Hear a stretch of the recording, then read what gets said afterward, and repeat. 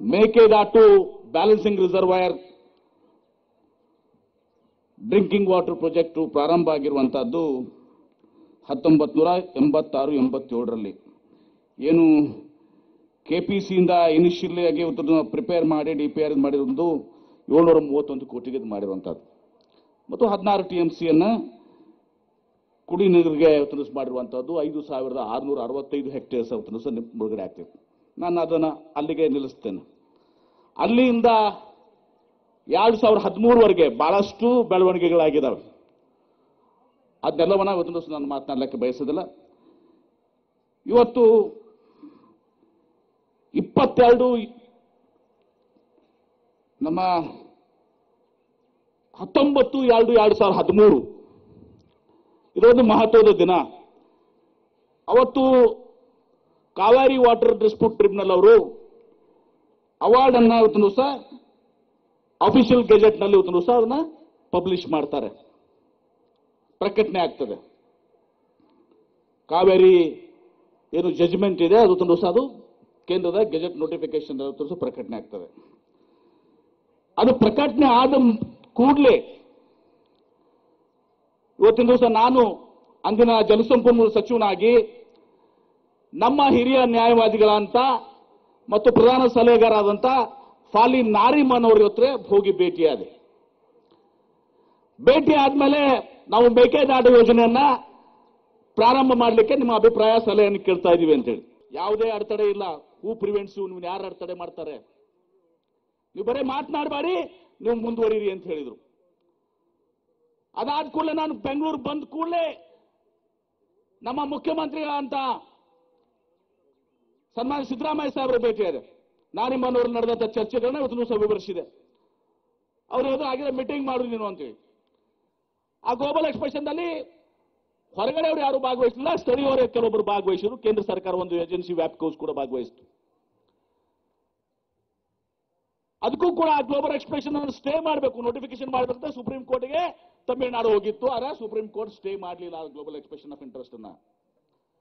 ಆದ್ರೆ ಅಂದು ಏನೋ ಗ್ಲೋಬಲ್ ಎಕ್ಸ್ಪ್ರೆಷನ್ ಇಂಟ್ರೆಸ್ಟ್ನಲ್ಲಿ ವ್ಯಾಪ್ಕೋಸ್ ಸಂಸ್ಥೆ ಸುಮಾರು ಇಪ್ಪತ್ತೆರಡು ಕೋಟಿಗಿಂತ ಜಾಸ್ತಿ ಇವತ್ತು ಸಹ ಕೋಟ್ ಮಾಡಿದ್ರು. ಅದು ಬಹಳಷ್ಟು ಹೆಚ್ಚಿಗೆ ಆಗ್ತದೆ ಅಂತೇಳಿ ಇಲಾಖೆಯ ಅಧಿಕಾರಿಗಳು ನಾವೇಳೋದಲ್ಲ ಅದಕ್ಕೆ ಇಲಾಖೆಯ ಅಧಿಕಾರಿಗಳು, ಆ ಟೆಂಡರ್ ಸ್ಕೂಟ್ನಿ ಕಮಿಟಿನೂ ಅಪ್ರೈಸಲ್ ಡಿವಿಷನ್ಸ್ ಇರ್ತದೆ, ಕಾವೇರಿ ನೀರಾವರಿ ನಿಗಮದವರು ಜಾಸ್ತಿ ಆಗ್ತದೆ ನೆಗೋಷಿಯೇಟ್ ಮಾಡಕ್ಕೆ ಪ್ರಯತ್ನ ಮಾಡಿದ್ರು. ನೆಗೋಷಿಯೇಟ್ನಲ್ಲಿ ಅವ್ರು ಒಪ್ಪಲಿಲ್ಲ ಕಡಿಮೆ ಮಾಡ್ಲಿಕ್ಕೆ ಒಪ್ಪಲಿಲ್ಲ ಹೀಗಾಗಿ ಮತ್ತೊಮ್ಮೆ ಇವತ್ತು ಸಹ ನಾವು ಇದನ್ನ ಫ್ಲೋಟ್ ಮಾಡಿ ಇವತ್ತು ದಿವಸ ಎ ಐ ಟೆಕ್ನಾಲಜೀಸ್ ಅಂತ ಹೇಳಿ ಇವತ್ತು ದಿವಸ ಮೂರು ಪಾಯಿಂಟ್ ಎರಡು ಆರು ಕೋಟಿ ರೂಪಾಯಿಗೆ ಇವತ್ತು ದಿವಸ ಇಪ್ಪತ್ತೆರಡು ಕೋಟಿಯಿಂದ ಮೂರು ಪಾಯಿಂಟ್ ಎರಡು ಆರು.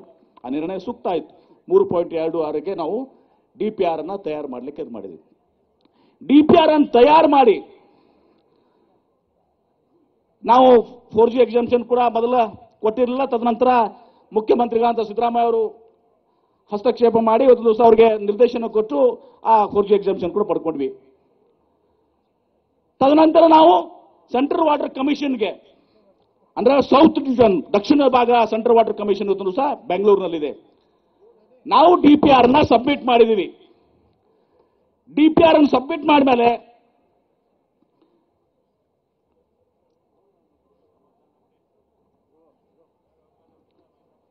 ಡಿ ಪಿ ಆರ್ ಅನ್ನು ಸಬ್ಮಿಟ್ ಮಾಡಿದ್ಮೇಲೆ ಇವತ್ತು ಅದಕ್ಕೆ ಕೊನೆ ಕ್ವರೀಸ್ ಹಾಕಿದ್ರು. ಕೆಲವು ಆಕ್ಷೇಪಗಳನ್ನ ಹಾಕಿ, ಇದನ್ನ ನೀವು central water commission appraisal division ಕೊಡಿ ಅಂತ ಹೇಳಿದ್ರು. ಅಲ್ಲಿ ಕೊಟ್ಟಾದ್ಮೇಲೆ two minutes please one very important point ಯಾಕಂದ್ರೆ ಖರ್ಗೆ ಸಾಹೇಬರು ಕೇಳ್ತಾ ಇದ್ರು. ಅವಾಗ ಸೆಂಟ್ರಲ್ ವಾಟರ್ ಕಮಿಷನ್ ಅವರು ಎರಡ್ ಸಾವಿರದ ಹದಿನೇಳರಲ್ಲಿ ನಾವೇನು ಡಿ ಪಿ ಆರ್ ಸಬ್ಮಿಟ್ ಮಾಡಿದ್ದೀವಿ. ಆಗ ಸೆಂಟ್ರಲ್ ವಾಟರ್ ಕಮಿಷನ್ ಗೈಡ್ಲೈನ್ಸ್ ಪ್ರಕಾರ ಆಗಿದೆ ಪರಮೇಶ್ವರ್ ಸಾಹೇಬರು, ಖರ್ಗೆ ಸಾಹೇಬರು ಕೇಳ್ತಾ ಇದ್ರು ಅವಾಗ ಅವರು ಸೆಂಟ್ರಲ್ ವಾಟರ್ ಕಮಿಷನ್ ಹೇಳಿದ್ರು, ನೀವು ಡಿ ಆರ್ ಸಬ್ಮಿಟ್ ಮಾಡಿದಿರಿ.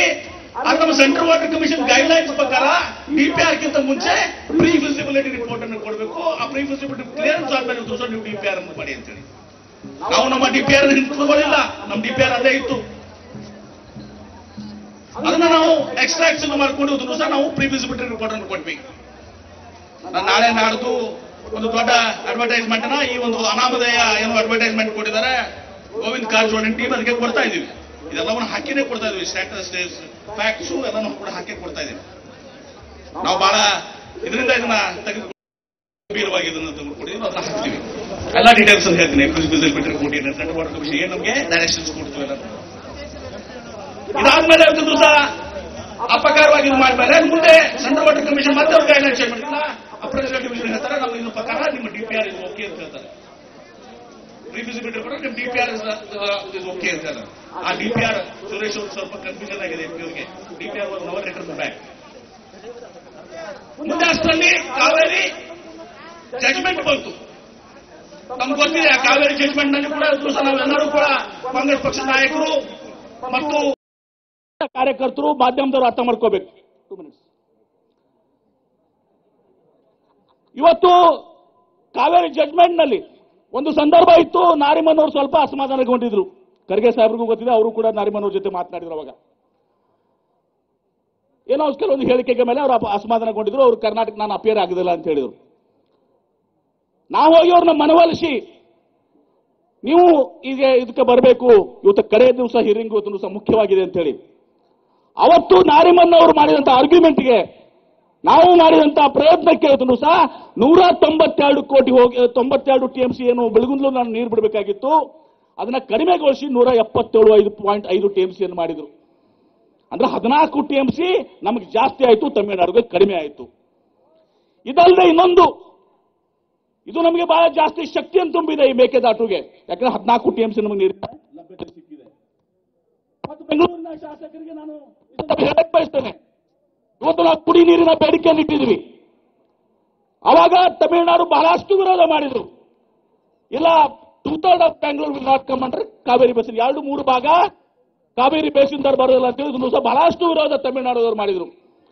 ಅವಾಗ ನಾರಿಮನ್ ಅವರು ನಮ್ಮ ತಂಡ, ಕಾನೂನು ತಂಡ ತೆಲುಗು ಗಂಗಾ ಉದಾಹರಣೆ ಕೊಟ್ಟರು ತೆಲುಗು ಗಂಗಾದಲ್ಲಿ ಐದು ಟಿಎಂಸಿ ಕರ್ನಾಟಕ, ಐದು ಟಿಎಂಸಿ ಮಹಾರಾಷ್ಟ್ರ, ಐದು ಟಿಎಂಸಿ ಆಂಧ್ರ ಪ್ರದೇಶ್, ಇದೇ ಮದ್ರಾಸಿಗೆ ಇಂದು ಚೆನ್ನೈ ಏನಿದೆ, ಅವತ್ತು ಮದ್ರಾಸ್ ಆಗಿತ್ತು.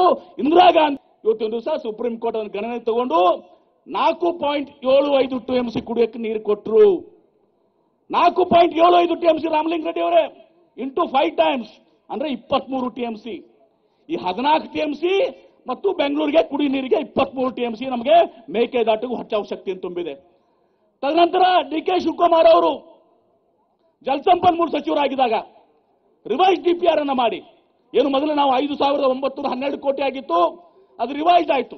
ಒಂಬತ್ತು ಸಾವಿರ ಕೋಟಿ ಯಾಕೆ ಆಯ್ತು ಅಂದ್ರೆ ಒಂದು ದಿವಸ ಅವತ್ತು ಲ್ಯಾಂಡ್ ಅಕ್ವಿಸಿಷನ್ ಇದನ್ನ ನಾವು ಎಂಟು ಲಕ್ಷ ಮಾಡಿದೀವಿ ಡಿಪಿಆರ್ನಲ್ಲಿ, ಅವರು ಮೂವತ್ತೆರಡು ಲಕ್ಷ ಮಾಡಿದ್ರು. ಹೆಚ್ಚಿಗೆ ಮಾಡಿಕೊಟ್ರು. ನಾಲ್ಕು ಪಟ್ಟು, ಮೂವತ್ತೆರಡು ಲಕ್ಷ ಮಾಡಿಕೊಟ್ರು ಡಿ ಕೆ ಶಿವಕುಮಾರ್ ಅವರು. ರೀಕಾಸ್ಟ್ ಮಾಡಿದ್ರು. ಅದಲ್ಲದೆ ಇವತ್ತಿನ ದಿವಸ ಅಂದಿನ ಹಳೆ ಎಸ್ ಆರ್ ಇತ್ತು, ಹೊಸ ಎಸ್ ಆರ್ಗೆ ಹಾಕಿದ್ರು. ಇವತ್ತಿನ ಎಸ್ ಆರ್ಗೆ ಮತ್ತೆ ಜಾಸ್ತಿ ಆಗ್ತದೆ, ಮುಂದಿನ ಎಸ್ ಆರ್ಗೆ ಮತ್ತೆ ಜಾಸ್ತಿ ಆಗ್ತದೆ. ಅವಾಗ ಆ ಡಿ ಪಿ ಆರ್ ಅನ್ನು ಮತ್ತೆ ರೀಸಬ್ಮಿಟ್ ಮಾಡಿದಾಗ ಇವತ್ತು ಸಹ ಇವತ್ತು ಡಿ ಪಿ ಆರ್ಗೆ ಪರವಾನಗಿಯನ್ನು ಸಿಕ್ಕಿದೆ. ಇದು ಡಿ ಕೆ ಶಿವಕುಮಾರ್ ಅವರ ಪ್ರಯತ್ನ. ಆ ಡಿ ಪಿ ಆರ್ ಪರ್ಮಿಷನ್ ಸಿಕ್ಕಿದೆ.